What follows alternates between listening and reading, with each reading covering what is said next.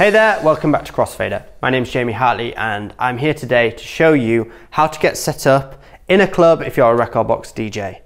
So, first and foremost, if you're using a controller at home and you know you've got confident on it and then suddenly you've got find yourself getting your first DJ gig or some of your first DJ gigs in clubs and the clubs have a mixer and two CDJs. That's a pretty standard setup in most clubs.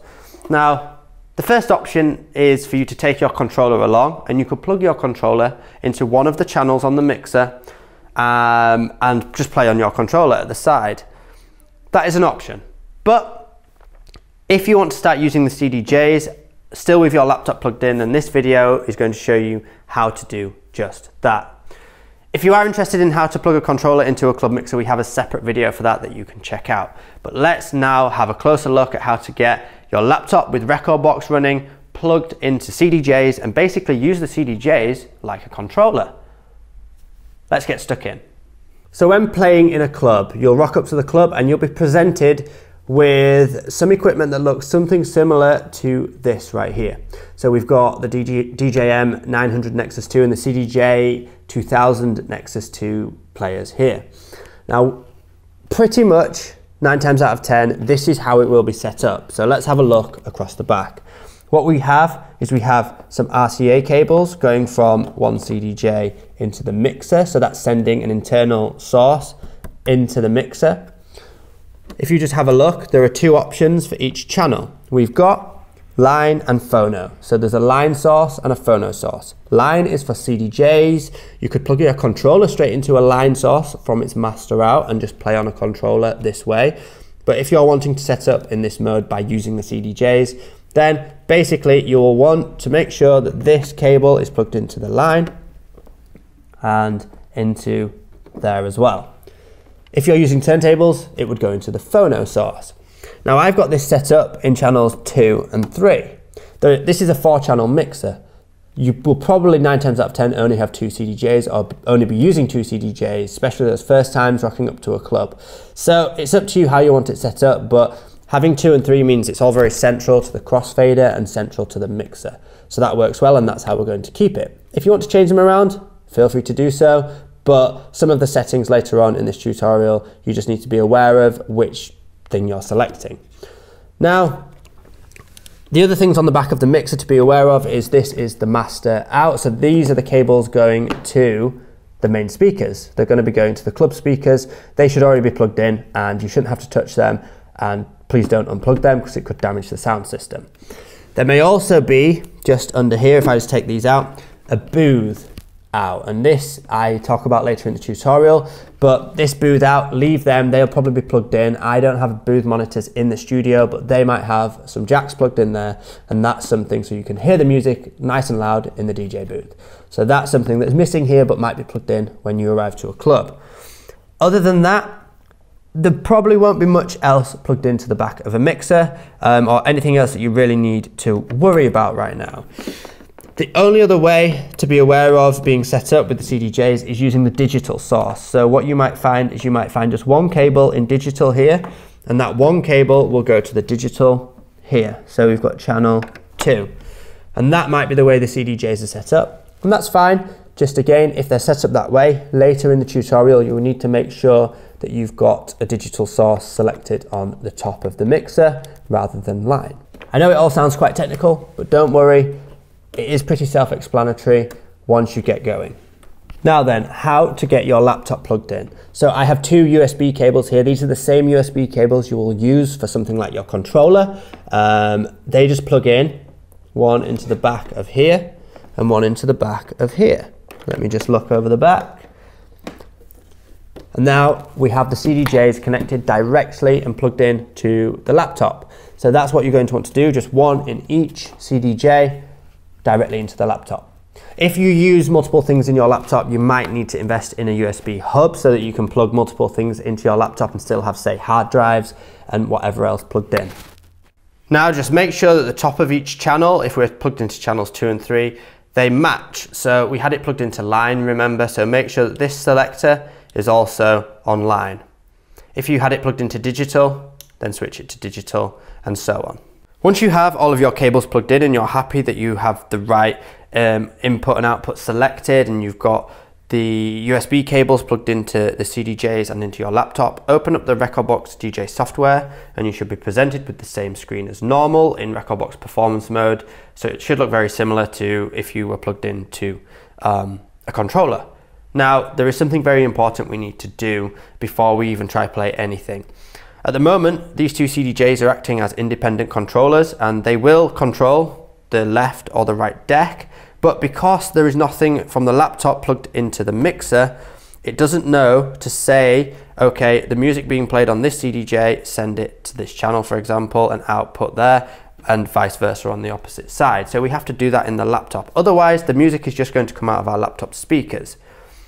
If we go into the gear icon in Rekordbox, you'll see under the audio tab and under the audio section, if we drop down, you can choose your laptop speakers or you can choose each of the individual CDJs. But what we need to do is combine these CDJs as one audio output. And this is especially important if you're a Mac user. Windows users, you should be able to control the audio output of each CDJ uh, independently. But on a Mac, we need to create something called an aggregate device. Now Pioneer do provide a download for you to do this automatically with one click. If you type into Google CDJ aggregator device, you can then download it from one of their product pages, such as the CDJ 2000 Nexus 2 product page. There will be a link to it. And then it looks something like this. Click it, and it brings up this CDJ slash XDJ aggregator. aggregator. Both CDJs are showing up there, that's great, and all we do is press this OK button. And what this does is it creates a combined uh, aggregate device. Now, if you don't, you can't find that, if you're on a Mac, you can press, I'm just pressing Command and Spacebar to bring up the Spotlight search and then type in audio MIDI setup. Now you'll see that there is a Pioneer CDJ XDJ aggregate device, but that's just been created because of that tool that we just ran. If you can't find it for any reason, just click this plus icon, create aggregate device, and then just tick to use both CDJs and just turn off that drift correction there. So that now, if you look on both, is exactly the same. So it's working exactly the same if you're struggling to find that script to run. Okay, I'm just going to delete that one and keep our Pioneer CDJ XDJ aggregate device. Now in Rekordbox preferences, you'll notice if I just go off it and back on it, it might just have to refresh you'll notice Pioneer CDJ XDJ as one of the audio drivers. Click that, let it load in, and then that is how we need to have the CDJs set up. Once you have selected the new audio driver, there's one thing you need to do on the CDJs to link them to the software. On the CDJs, you need to click this link button on both, there and there, and you'll be presented with a screen. On this screen, it says USB MIDI and then push to connect. I'm going to do it on this side first because that CDJ is a little bit hidden by my laptop. So all we do is push this rotatory knob down and then it comes up saying choose Rekordbox DJ deck. So then scroll left and right to find, this is obviously deck number two, to find deck number two. So we scroll, you'll see it comes up deck number one, question mark, nope, deck number two. That's what we want and then click it down again. That's now connected. Repeat on the same on the other side and do the same thing. Let's scroll to deck number one and click it down. Now we can see our collection and playlists all on the CDJ themselves. Now just something to be aware of is if you scroll on one CDJ using this knob here, up and down your library, it will also scroll on the opposite side because the two CDJs are basically linked together, but we can set, now the output is being sent separately. So if I just load in this demo track 2 on this side, and then the first thing we want to do is test if it's coming out the right channel, because sometimes it automatically gets them the wrong way around. So if I press play, you'll notice it's coming out of this channel. You might be able to just hear that through my microphone, but that means the sound is coming out the right channel. Let's test the opposite side and load in demo track 1 on this side. And we've got the sound output coming here. And that's exactly what we want. If for any reason that basically you're playing this deck and it's coming out of the wrong channel, then go into your gear icon again in the settings. Just click that there. go down and you can change here on output channels under the audio settings, you can change whether you want it to be the CDJ slash XDJ2 or 1. And you would have to just switch these over. So as an example, if these have automatically set this, this way around, then if I play this, you'll see it's coming out of the wrong channel. If I play this, you'll see it's coming out of the opposite side. So if you ever come across that, it's a quick troubleshoot is you'll just have to toggle them over. And it does it automatically when you change one, it then replaces the other. That's something I've found sometimes when I'm setting up this way, it's just done it the wrong way around. So I wanted to make you aware of that. Now, that is pretty much it. As for the mixer, this is controlling just the audio. So, for example, if you were to play a song, you can control the EQs as you would on your controller. The sound color effects, everything works as normal. The only thing that might be a bit different is the automatic BPM readout. Because there is no data being sent from the mixer to the laptop, then if you were to select an effect on this effects channel, so let's put it on channel 3 because I'm plugged into channel 3 here, you'll notice that it's flashing 120 BPM, but if I move that, it doesn't do it exactly in time. I have to then play this audio source, and it eventually tries to read what the BPM is automatically. So there are a few seconds lag there between it automatically reading the BPM. But that's something I wanted to make you aware of when set up in this way. Other than that, the mixer is pretty much very similar to a lot of the controllers out there. So you've got your cue buttons, things are labeled the same, which is very handy and very helpful.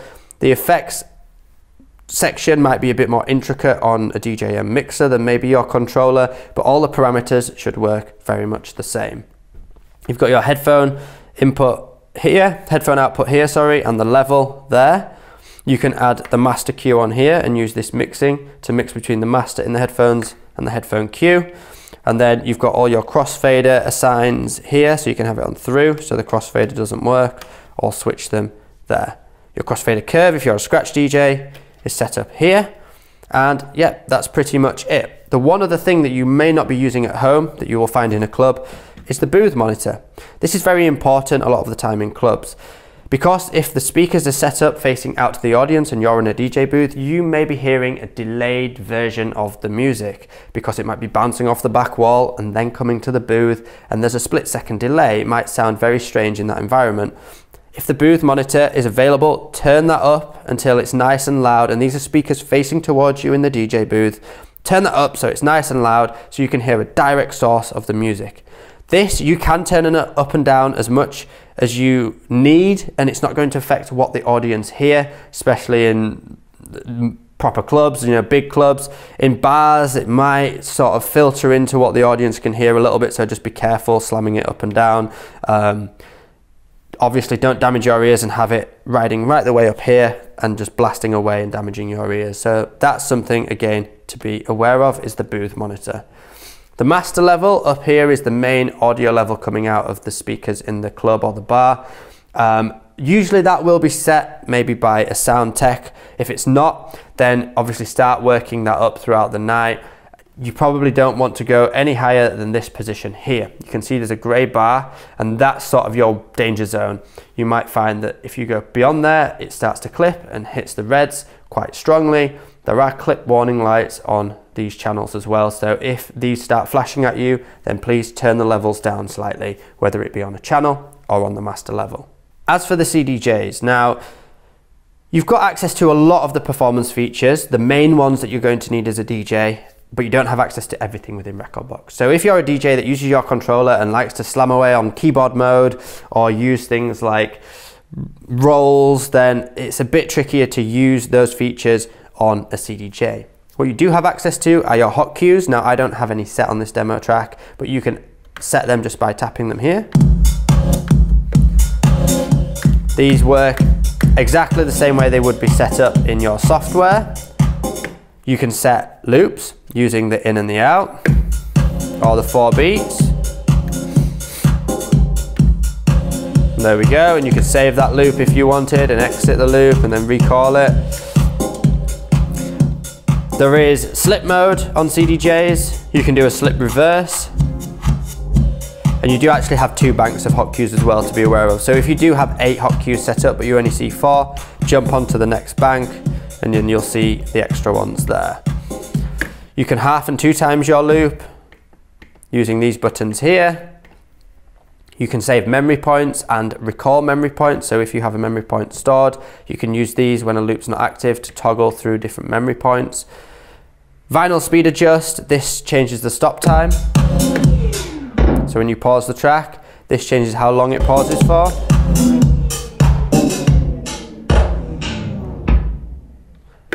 And the release time. I'd probably set it around this position here.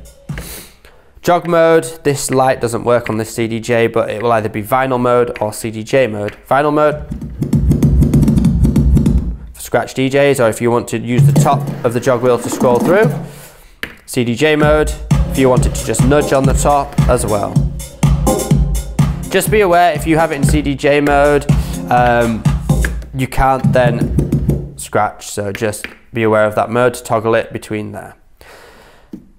Just below, we have the tempo width. So we can go from plus to minus 6%, to 10%, 16 to wide, 6, 10, and so on. There's also master tempo for locking the key of the song and your tempo adjust there. If you want to go back and browse through your library, hit the browse button here and then you can scroll through your songs to load a new one in by clicking down. If you then need to transition back to a USB DJ or someone playing off CDs, for example, then you would just click, plug the USB in on the deck that's not playing, click USB and just load a track and then off you go and just play that song. It might come up with a warning saying, are you sure you want to um, disconnect from the laptop, from Rekordbox, and just press OK and then you can just play a song. This track will continue playing as normal.